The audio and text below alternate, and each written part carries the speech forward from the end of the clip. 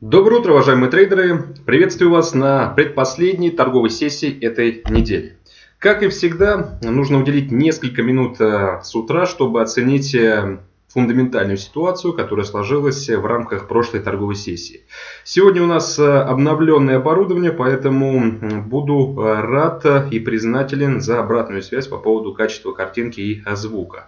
Поэтому не обессудьте, если возникнут какие-то технические огрехи, попробую исправить и, соответственно, уже во время следующего эфира нейтрализуем все вот эти технические нюансы, если они, конечно же, будут иметь место быть. Соответственно, давайте тогда возвращаться на э, рынки. Оценим мы сегодня, как всегда, наш традиционный набор перечень финансовых активов, на которые мы обращаем внимание каждый день. И, конечно же, стартуем мы э, с того, что показывает нам э, рынок нефти. Бренд, клоуз вчерашнего дня 49.04, сейчас актив торгуется на отметке 49.37. Хорошо осознавать то, что бренд находится под давлением, бренд снижается. Если говорить по ценам закрытия, собственно, дней, мы, э, по сути, видели то, что окончание вчерашней торговой сессии пришлось на э, минимум недели. И, э, судя по динамике, хочется верить то, что сегодня в ходе европейских торгов, американских, бренд продолжит снижаться и уже закроет неделю еще обновлением новых минимумов. Хочется верить то, что у нас глубинные системные такие позиционные уровни находятся гораздо ниже текущих рубежей, потому что мы с вами надеемся то, что бренд непременно, будучи фундаментально заряженным на снижение, должен котироваться ниже 45 долларов за баррель. Вчерашнюю торговую сессию по нефти можно разделить на три этапа. Во-первых, это азиатская, когда даже в ходе нашего с вами прошлого брифинга мы сделали ставку акцент на то, что бренд э, снижается как бы в качестве резонанса на статистику, которая вышла накануне по запасам нефти США. Вы знаете, что по версии Американского института нефти запасы выросли на 4,5 миллиона баррелей за неделю. Конечно же, это много. И снова это стало причиной э, актуализации опасений, связанных э, с перенасыщением рынка углеводородами и энергоресурсами. После этого трейд трейдеры переключились на другой фундамент, который также появился на рынке. И здесь уже спасибо нужно сказать эм, соответственно, источникам. В частности, Wall Street Journal э, со ссылкой на официальных лиц из ОПЕК э, сделал заметку, в которой сообщалось, что Иран э, озвучил позицию, опять же, отправив письмо всем членам Ближневосточного картеля с допуском возможности своего участия на предстоящей встрече, которая состоится в конце сентября в Алжире.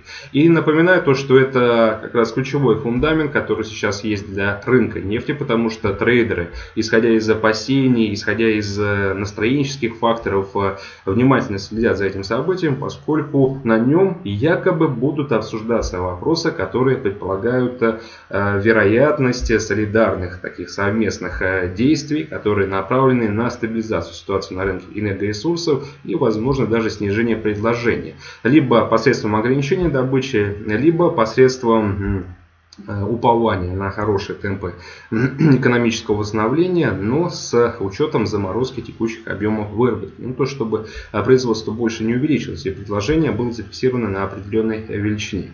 Конечно же, э, эти ожидания в порядке спекулятивного интереса на этапе неполной информированности рынка оказали свое положительное воздействие на котировки бренда. Мы видели практически всю прошлую неделю, как бренд, соответственно, подрастал. И э, если, э, опять же, сослаться на то, что мы видим э, сейчас и обратить внимание на то, что происходит с брендом на текущий момент, это коррекция, которая как раз связана с тем, что, может быть, рынок перегорел уже по факту этих ожиданий. И сейчас настраивается и нацеливается на то, что никаких договоренностей по факту вот э, предстоящей э, встречи, предстоящего заседания неформального достигнуто не будет. Мы на это с вами делали ставку с самого начала, поэтому не позволили себе рассмотреть возможности покупок. Но может быть, если бы мы были более рискованными, смогли бы использовать и потенциал краткосрочного роста. Но вы согласитесь, особенно я уверен, согласятся со мной всех то также детально анализирует фундамент, что оснований для такого роста, который мы видели, не было. Потому что больше 20% это, конечно же, уж слишком. Соответственно, когда на рынке появились слухи с, э, опять же, ориентиром на вот эту статью, про которую я сказал, в Wall Street Journal, да, рынок воспрял духом, якобы, если Иран будет принимать участие в этой встрече, что в принципе еще не подтверждено официально. А, значит, э, это уже э, тот самый сигнал, который указывает на то, что позиция Ирана может быть изменена. Потому что мы помним прошлое официальное заседание ОПЕК, э, на котором принимал участие больший, опять же, спектр регионов Ближневосточного картеля. Но вот Иран воздержался от того, чтобы посетить это мероприятие, поскольку тогда объемы производства были гораздо ниже текущих значений, там 3 с небольшим миллиона баррелей в сутки. И уже тогда они э, информировали всех, э, кто ориентировался на этот э, регион, что не собираются поддерживать такие инициативы, пока не доберутся до прежних досанкционных уровней производства, свыше 4 миллионов баррелей в сутки. Сейчас мы видим то, что Иран может принять участие. Но принятие участия в этой встрече это не то же самое, что поддержание инициатив, которые будут предполагать ограничение добычи. Здесь нужно быть четко разделять, в общем, эти понятия и э, понимать, что э, на текущий момент даже э, положительного решения на участие Ирана ну, явно недостаточно, чтобы возродить интерес к бренду и уж тем более позволить ему закрепиться уверенно выше 50 долларов за баррель. Ну и третья часть торговой сессии, когда мы с вами сфокусировались на статистике по запасам, Э, нефти в США, это уже правительственный отчет от Минэнерго США. И в частности, э, согласно э, статистике этому отчету, я думаю, что вы обратили на него внимание, мы получили данные, которые указывают на то, что запасы за прошлую неделю выросли на 2,5 миллиона баррелей в сутки. Это куда выше, чем прогноз роста на 200 тысяч и ну, ниже чуть-чуть, чем оценка от API. Но все равно это та самая статистика, которая имеет э, серьезный резонанс и влияние на котировки бренда. Это та самая статистика, которая позволяет нам локально получать э, фундаментальную поддержку для оправдания нашей коррекционной идеи. И э, в-третьих, это как раз по факту уже те цифры, которые позволяют нам быть более уверенными в том, что мы сейчас правильно делаем, оценивая фундамент, указывающий на то, что этот актив нужно распродавать. Поэтому официальный отчет поддержал позиции медведей. Мы увидели коррекцию, и я надеюсь, то, что эта коррекция продолжится и дальше. Ключевыми событиями, которые на повестке от предстоящих торговых сессий, ну что тут осталось, э, меньше двух э, полноценных дней до конца недели. У нас завтра отчет Baker Hodges по количеству нефтяных платформ и терминалов. Безусловно, следим за этим релизом в 20.00 по московскому э, времени ожидаем еще одной недели роста и ожидаем, что увеличение количества платформ в перспективе уже следующих официальных данных, э, то есть следующей среды, когда мы снова вернемся к запасам и объемам добычи нефти э, э, в США, мы будем говорить о приросте. Ну, в частности, по производству нефти. Вот по итогам прошлой недели, немножко странновато, конечно же, но за производство снизилось на 49 тысяч баррелей. Но все равно эта цифра нейтрализует тот прирост, который мы получили буквально двумя неделями ранее. Вы помните, что на позапрошлой неделе у нас был рост на 155 тысяч баррелей в сутки по добычи нефти. Следим за дальнейшими макроэкономическими отчетами и, конечно же, следим за завтрашним выступлением Джанет Йеллен, потому что а, ее слова, ее комментарии и риторика а, будет иметь непосредственное а, влияние на американскую валюту, а вот именно поведение доллара станет определяющим для всего спектра прочих финансовых активов, не только рынка Форекс. И вы прекрасно понимаете то, что если доллар укрепляется, значит те активы, которые, чьи цены номинированы в американской валюте, сдают по позициям. Настраиваясь на более жесткие комментарии, мы можем предположить, что завтрашнее выступление Джанет Йеллен станет положительным для доллара и негативным для нефти. В общем, все, что нужно нам. Поэтому ждем э, дополнительной поддержки э, фундаментального характера под закрытие недели и ждем еще большего ослабления э, позиций нефти марки Брента с потенциалом хода ниже ниже 48 долларов за баррель. И если мы с вами закроем неделю ниже 48, я абсолютно не сомневаюсь в том, что на следующей неделе мы сможем претендовать на э, смещение к поддержке 45 долларов за баррель. Российская валюта. Небольшой вектор девальвации 65.01. Видим то, что рубль э, не воспользовался даже поддержкой налогового периода, э, практически забыл об этой э, теме и полностью сфокусирован именно на динамике нефти. Но чтобы не повторяться, ожидание слабости позиций черного золота должно быть причиной девальвации рубля. Поэтому ждем снова возвращения пары как минимум в район 67 рублей против американцев. Евро против доллара. Котировки 1.1273. Днем ранее мы с вами говорили о том, что евро старательно цепляется, пытается э, зацепиться за сопротивление 1.1350 и даже претендует на то, чтобы оказаться выше.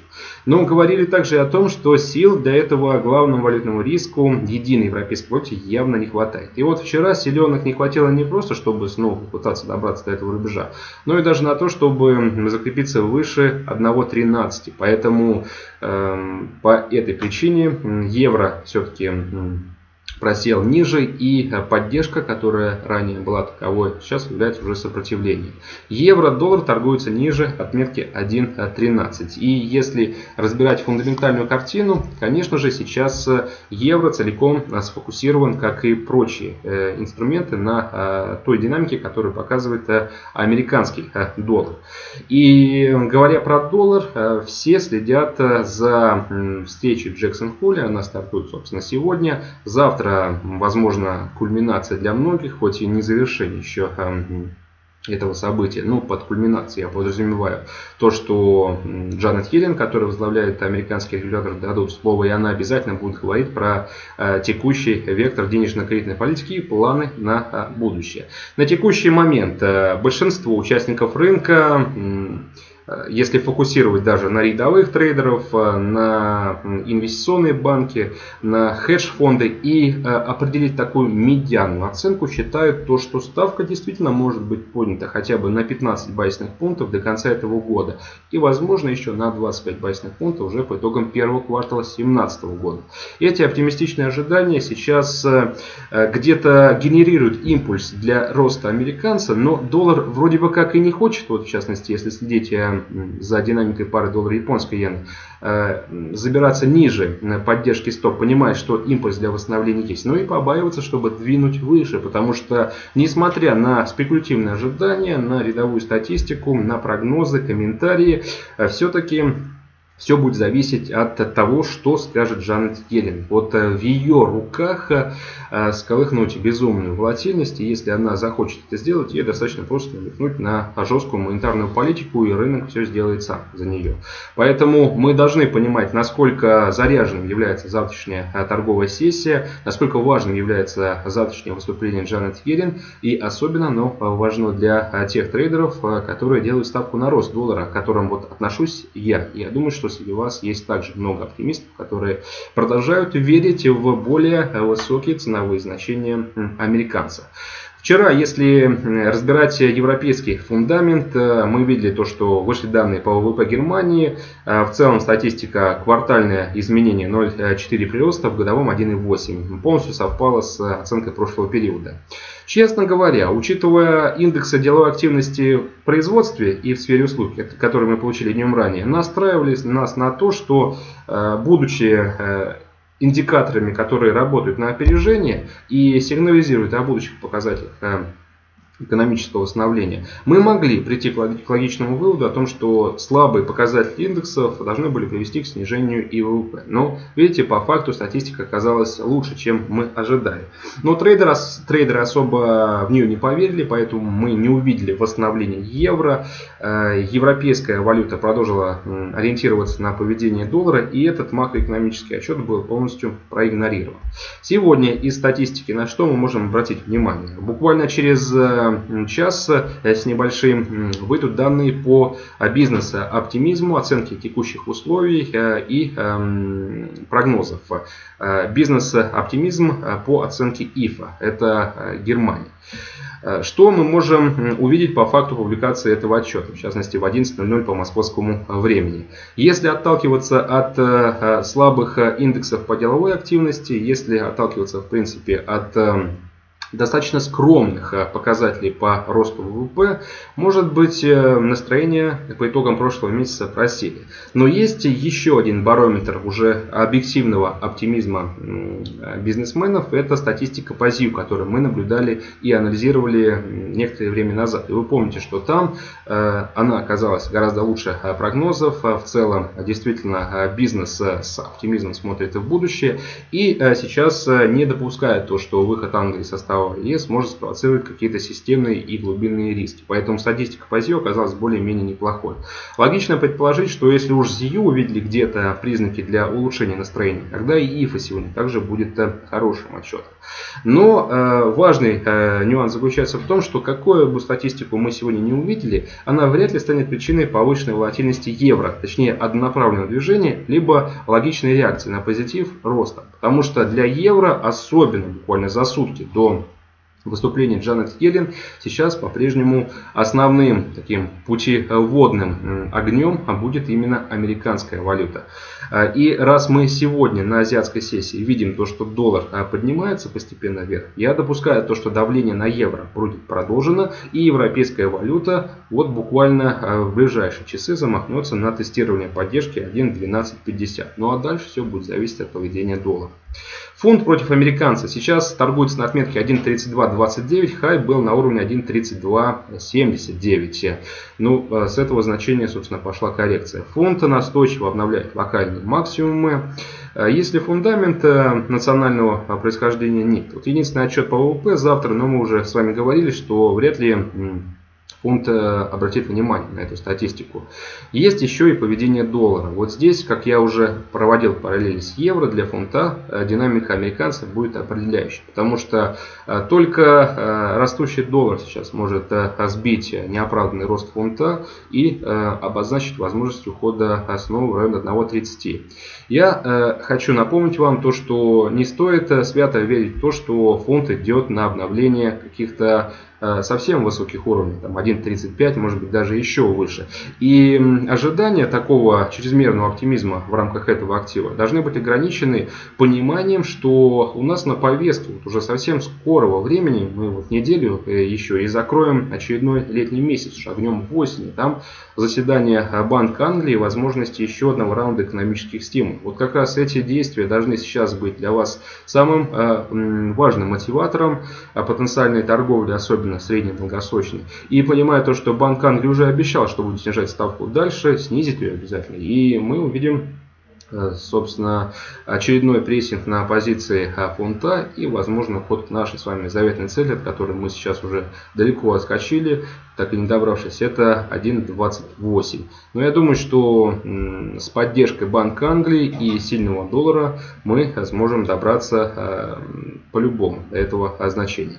Доллар японская иена торгуется сейчас с небольшим повышением, 142, локальный хайп был 160, но там американец не удержался, как я уже отметил, как будто бы опасаясь за то, что этот рост может быть неоправдан. Но такая позиция, она с одной стороны заставляет насторожиться трейдеров, а с другой стороны понимает то, что сейчас для большинства привычно и свойственно выжидательная позиция. Может быть кто-то хочет действовать уже по факту. Я предлагаю рискнуть и настроиться на то, что комментарии Елен будут жесткими. И значит мы сможем увидеть очень быстрое закрепление пары USD иена выше 101. Говоря про вчерашнюю торговую сессию, мы э, продолжаем наблюдать резонанс сильных данных по американскому рынку недвижимости, по продаже новых домов плюс 12,5, хорошая цифра, лучший показатель с 2007 года. Вчера вышел отчет по продаже на вторичке, тоже сектора недвижимости. Не такой хороший, как э, продажа новых домов, Э, здесь спад на 3 с небольшим процента, но особого негатива трейдеры в нем не увидели, так же как эксперты и экономисты. Знаете почему? Потому что это первый спад с февраля э, этого года, и это Слабость этой цифры, этой статистики обусловлена не э, низкими показателями спроса, а низким предложением. И если мы проанализируем, копнем глубже эту статистику, мы поймем то, что сейчас э, количество домов, которые находятся на повестке, количество домов, которые доступны на рынке для продаж на вторичке, примерно на 6% меньше, чем за аналогичный период в прошлом году. Э, домов действительно очень мало. И, между прочим, это исторический минимум. Поэтому такие цифры в плане вторички были, на мой взгляд, э, ожидаемы. И если вы считаете, что а, этот отчет ломает прогресс и восстановление, которое было сформировано на э, американском рынке недвижимости ранее, вы ошибаетесь. Я э, советую вам особо здесь не э, негативить. Сегодня у нас также очень интересный день для доллара, поскольку сегодня у нас и заказы на товары длительного пользования, и первичные заявки на пособие по безработице, и еще индекс деловой активности в секторе услуг по версии Market. Это во второй половине дня. И, соответственно, еще блок макроэкономических отчетов, которые будут предварить завтрашнее выступление Джанет Йеллен. Если сегодня мы с вами получаем хорошие цифры, я на это делаю большую ставку, то тогда у Джанет Йеллен будет еще э, один э, статистический такой мотив, э, чтобы переосмыслить и, переосмыслить и крайне обдумать свое выступление. А может быть даже подкрепить свою речь именно намеками на то, что американская экономика готова к повышению процентной ставки. По крайней мере, последние отчеты особенно нас не разочаровывают. В общем, настраиваемся на жесткий комментарий Джанет Йеллен. Помним, что она также будет эм, и помнит, лучше так скажем, про э, комментарии э, вице-председателя ФРС Стэнли Фишер. Она помнит э, выступление Локарта э, и эм, прочих представителей э, ФРС, ну, в частности еще и Дадли, которые, будучи голосующими членами, уже сказали, что будут голосовать за повышение процентной ставки. Поэтому давайте следить за этим событием. Джексон Холл, встреча руководителя региональных ЦБ, нас интересует прежде всего выступление Джанет Йеллен. И это закрытие этой недели, пятничная торговая сессия. Э, уже всю неделю ждали, осталось совсем чуть-чуть, давайте потерпим. И завтра я думаю, что наши ожидания будут вознаграждены сторицей, поскольку доллар просто обязан получить поддержку и тем самым приблизить наш через собственный рост к многим нашим профитным ориентирам, которые мы разделяем по целому спектру финансовых активов. Поэтому USD иена ждем э, даже в рамках этой торговой сессии движения выше 101, но уж по факту жестких комментариев Елен будем стремиться уже в район 103 как минимум. По другим инструментам все пока без изменений. NZD USD 0.7319, австралийцы против доллара торгуются на отметке 0.7628, цель остается неизменной 0.75. USD CAD отыгрывает э, слабости нефти и э, вплотную нацелен на тестирование сопротивления 1.30. Я думаю, что если сегодня нефть продолжит э, снижаться. И если это произойдет завтра, то тогда мы сможем закрыть неделю по паре USD выше уровня 1.30. Важнейшие события сегодняшнего дня. 11.00. Статистика по ИФА. Бизнес-оптимизм в Германии. Э, смотрим за цифрами, но эм, стараемся по ним не торговать. Точнее, я думаю, что у нас э, даже не будет возможности, поскольку рынок вряд ли на них отреагирует э, повышенной волатильностью. В 15.30 заказы на товары длительного пользования, заявки и и все. Это статистика по США. Дальше в 16.45 у нас индекс активности в сфере услуг, э, замыкающий релиз э, американской статистики этой торговой сессии. По всем отчетам ждем поддержки для доллара и, соответственно, ждем хороших цифр. Кодовое слово на сегодня. Трейдер. Величина бонуса 13%. Действует он, как и всегда, по старинке до следующего брифинга, который состоится завтра в 9.30 по московскому времени. На этом все. Как и всегда, также по традиции, желаю вам исключительно прибыльных сделок попутного а, тренда. Не забывайте, что весь видеоконтент доступен на нашем официальном канале на YouTube. Заходите, подписывайтесь, оставляйте ваши комментарии, а, вопросы, ну и ставьте, конечно же, лайки. Это что касается записи. Ну а для тех, кто в прямом эфире, напоминаю, что помимо перископа у нас вот уже вторую неделю идет вещание и через Facebook. Это может быть для тех, кому через Facebook более удобно будет э, смотреть за нашим ежедневным утренним обзором. На этом все. Спасибо за внимание. Всего доброго. До свидания.